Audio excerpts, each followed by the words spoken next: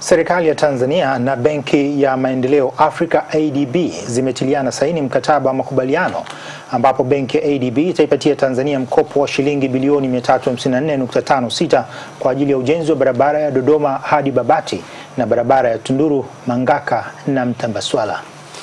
Utiaji saini huo umefanyika jijini Dar es Salaam kati ya Katibu Mkuu Wizara ya Fedha Ramadhan Kija na mwakilishi wa ADB nchini Tonia Kandiero, ambapo Kija amesema utekelezaji wa mradi huo wa barabara unatarajiwa kuanza mwezi Oktoba mwaka huu na kukamilika katika kipindi cha miaka mitano ijayo.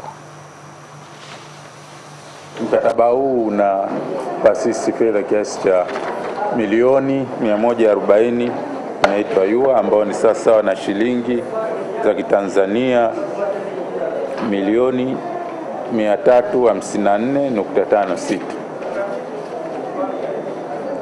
Kwa hilo tunawashukuru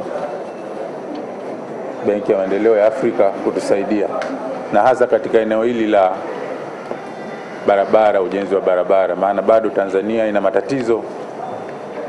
na barabara zake. Sekta Serikali ya Tanzania itachangia shilingi bilioni 27 huku Japani ikitarajiwa kutoa shilingi bilioni 157 kwa ajili ya ujenzi wa